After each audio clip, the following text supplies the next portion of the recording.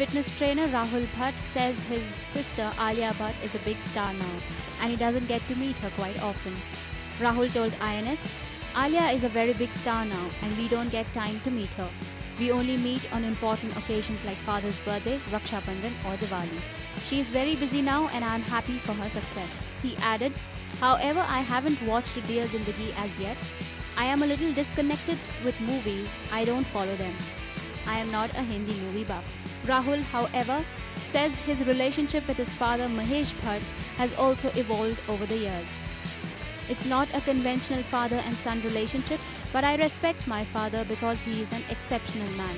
He has taught me so many things in life. The greatest respect is he takes care of my mother so nicely and nothing is more satisfying than that. Currently he is training Aamir Khan for his film Dangal. Aamir has gained 97 kilos for his role as Mahavir Phogat in Dangal and then dropped 20 kgs for the same.